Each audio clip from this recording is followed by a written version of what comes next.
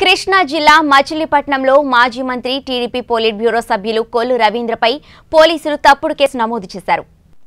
ఈ సందర్భంగా మాజీ మంత్రి కొల్లు రవీంద్ర మాట్లాడుతూ ప్రతిపక్ష పార్టీల నాయకులపై పోలీసులు అక్రమ కేసులు నమోదు చేసి ఇబ్బందులకు గురిచేస్తున్నారని మండిపడ్డారు. పంచాయతీ ఎన్నికల్లో గెలుపు కోసం అధికార వైసీపీ నేతలు అడ్డదారులు తొక్కుతున్నారని విమర్శించారు.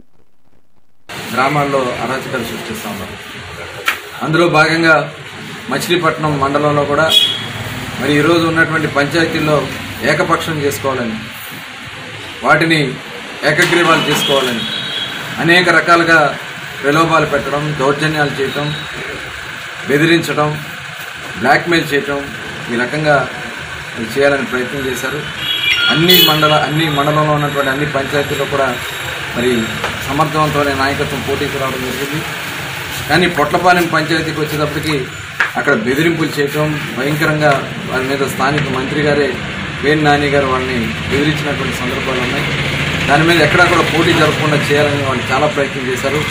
అయినప్పటికీ కూడా నిన్న మరి చివరి రోజు అక్కడ మలిశెట్టి సుబ్రహ్మణ్యం అనే వ్యక్తి పోటీ చేయడానికి నామినేషన్ వేయడానికి మరి పంచాయతీ కార్యాలయానికి వెళ్తున్నటువంటి సందర్భంలో అతన్ని దారి కాసి అతను అక్కడి నుంచి ఎవరైతే అక్కడ అభ్యర్థిగా ఉన్నటువంటి గాజుల నాగరాజు అనే వ్యక్తి అతని ఇంట్లోకి లాక్కెళ్ళిపోయి అక్కడ బండి కూడా అక్కడ రోడ్డు మీద పెట్టేసి వెళ్ళిపోవడం జరిగింది.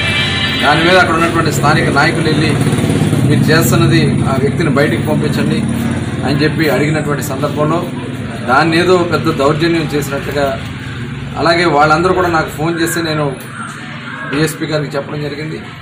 డిఎస్పీ గారు కూడా ఇమీడియట్గా కాని అక్కడ కానిస్టేబుల్ని ఎస్ఐ గారిని పంపించడం జరిగింది.